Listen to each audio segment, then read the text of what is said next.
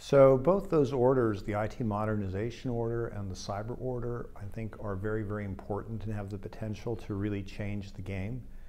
The key first piece of those orders, particularly the modernization order and cyber orders, is their focus on uh, holding leaders accountable. Henceforth, leaders of executive branch agencies are held accountable for cyber attacks or any actions that were not taken to remediate or plan for those cyber attacks. That's a big deal.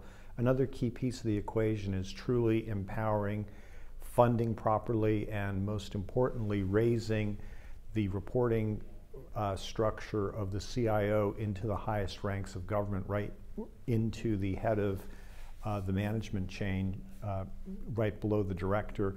These are key things that make a very, very big difference because uh, CIOs need to have the budget, the authority to drive um, change. The executive order does this. And then the last thing I would say, you know, in this is that the orders put a lot of focus on enterprise management, shared services, and then aligning all cyber functions around a single architecture so that you get away from a siloed approach which never works well.